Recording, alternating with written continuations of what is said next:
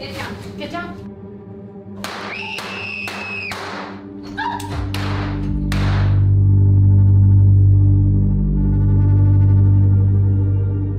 Ninety-five percent of children practice lockdown drills.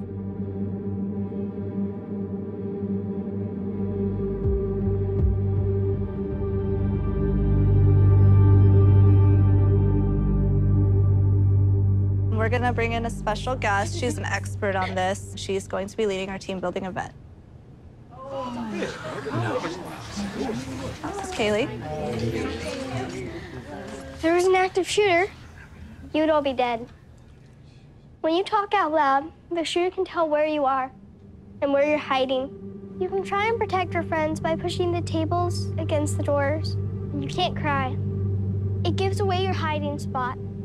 And if you're in the bathrooms, you have to stand on the toilet seat so they don't know that you're in there. That's crazy. Try to listen for things that could help the police.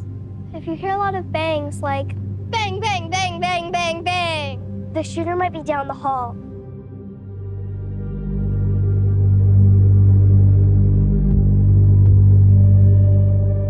We need to create change in this country. We need to actually be changing the laws and making sure that our people are safe. I'm frankly pissed. I don't know about the parents at home who are watching this for the first time, but It was very unsettling. It's so jarring to see this. It hit me in the gut. I think we're traumatizing a whole generation of children.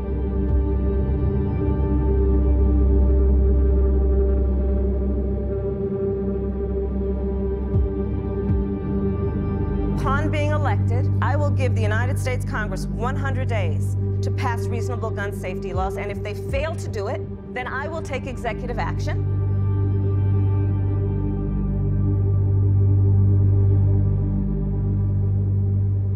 Lockdown, lockdown, let's all hide.